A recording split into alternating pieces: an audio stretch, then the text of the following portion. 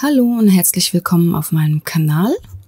Ich zeige euch heute, wie ich den Storch gemalt habe. Und dazu habe ich folgende Materialien verwendet. Ihr könnt, wenn ihr habt, so ähnliche nehmen. Müssen nicht unbedingt die gleichen sein.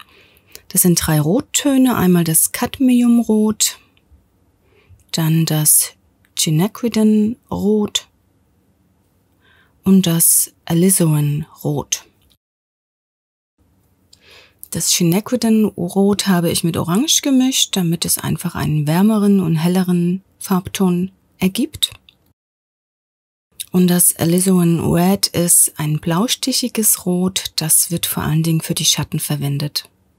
Für den unteren Bereich. Dann habe ich diese zwei Blautöne genommen. Das ist Indigo, Indigo Blau und Paint Square Blue. Und Lamp Black in zwei verschiedenen Farbabstufungen. Einmal hellgrau und tiefes Schwarz. Das ist das Cadmium Orange, welches ich mit diesem Chinequidin Rot gemischt habe. Weiterhin habe ich meine Pinsel verwendet von Da Vinci. Das sind Rotmarterhaarpinsel.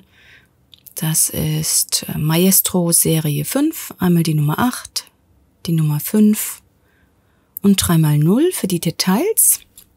Sehr feine Spitze. Und als Papier habe ich hier das Hahnemühle Expression genommen. Das ist eine ungefähre DIN A4 Größe, ist etwas breiter matt Cold Pressed. Und wenn euch das Video gefällt, dann lasst mir einen Daumen hoch da und abonniert meinen Kanal. Ich wünsche euch nun viel Spaß beim Zuschauen oder auch beim Nachmalen. Bis dann!